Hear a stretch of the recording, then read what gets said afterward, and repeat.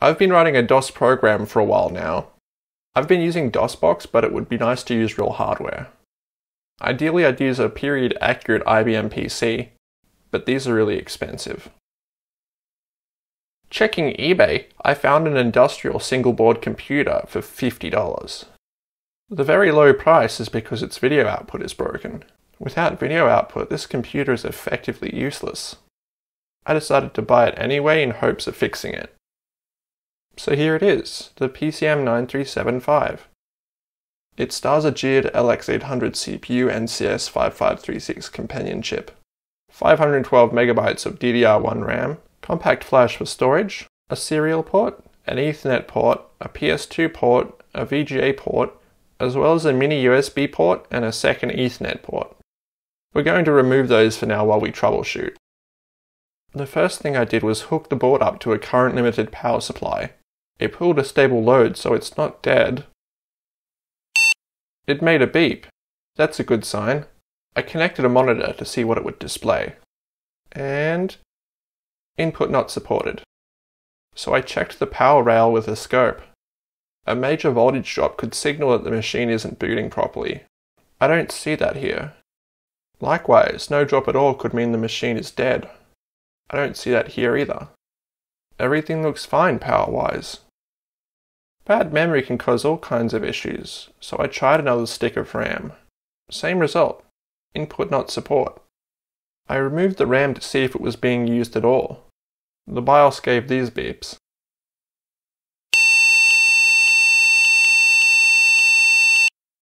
I removed the BIOS chip to see if it would still beep. It didn't. Next, I looked at the clock battery. My multimeter showed it was around 200 millivolts, completely dead. Perhaps a dead battery corrupted the BIOS settings somehow? Running without the battery didn't help. I wanted to know if the machine was frozen or just waiting for me to do something, so I connected a keyboard to see what would happen. It handled toggling caps lock. It even made noises when I pressed keys.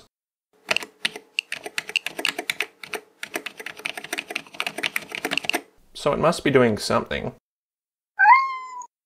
Surprise cat visit! This is my brother's ginger cat. While we appreciate the cat, I'd like to talk about the sponsor of this video. Just kidding, I wanted to fill time in the voiceover to show off the cat. Back to troubleshooting. I plugged in an Ethernet cable. Maybe if the machine was booting over the network, I'd see some packets. I did see packets, but they were from my machine, not very helpful. I made an null modem cable on my breadboard out of jumper wires. Probing it showed the serial line was initialized, but it wasn't outputting anything.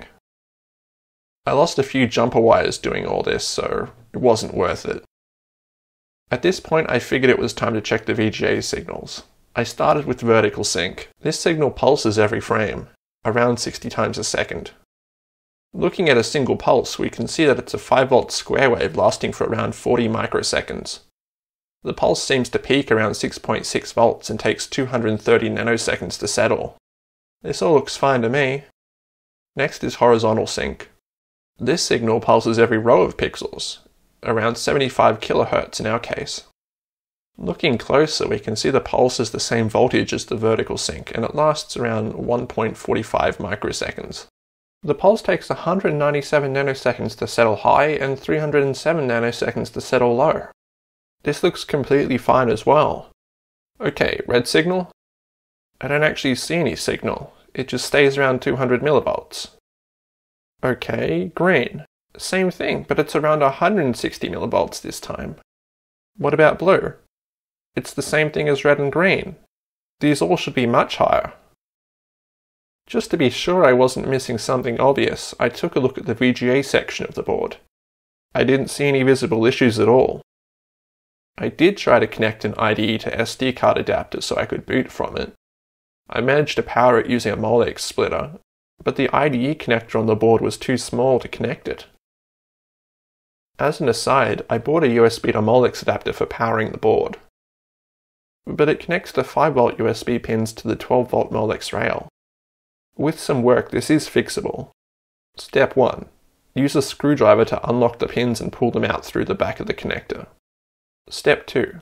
Bend the side locks on the pins back into shape using a screwdriver. Step 3. Use the pliers to make the pins round again.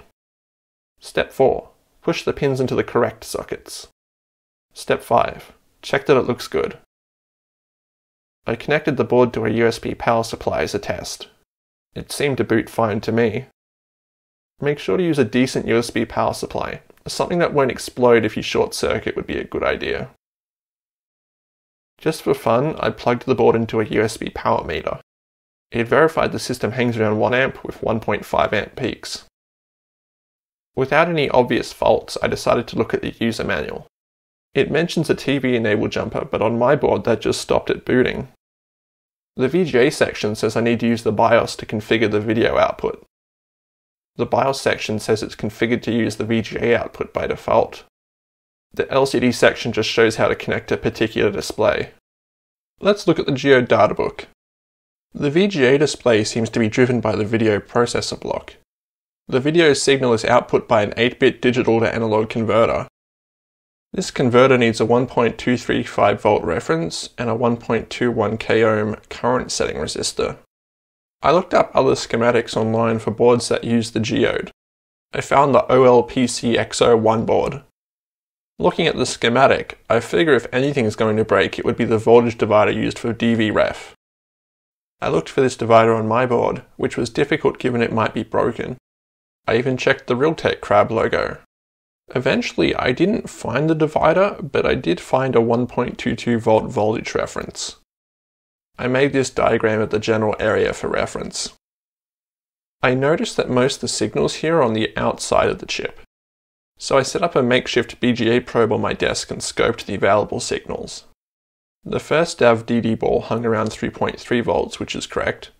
The second DAV DD ball did about the same, the DV ref ball hung around 1.22 volts, which is about right.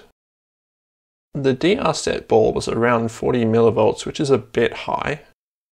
The VAV DD ball hung around 3.3 volts, which is fine. The dot ref ball had a 3.3 volt 48 MHz sine wave on it. It should be a square wave, I think, but this might be a scope artifact. Overall, though, everything seems fine my compact flash card finally arrived. So with the help of a null modem cable I was able to boot Linux. Specifically Alpine Linux with a custom built kernel with the Geode video driver enabled. After a little booting we get VGA output. It's a wrongly positioned login prompt, though after a few minutes it starts to fade. Eventually it fades enough to become invisible. I took a look at the red signal under an oscilloscope it looked the same as before with no signal, but zooming in shows there's something clearly there, it's just very, very weak. The signal even looks like it's bouncing, but changing the timescale shows it's actually a square wave. A 15 millivolt square wave that runs at 51.58 Hz. Wow. At this point I figured something in the video section of the board was pulling the signal low, so I decided to desolder parts of the circuit to see the signal directly. I ripped a pad desoldering an inductor, so I switched to desoldering the tiny capacitors instead. But I couldn't get the last capacitor desoldered, so I desoldered its inductor instead.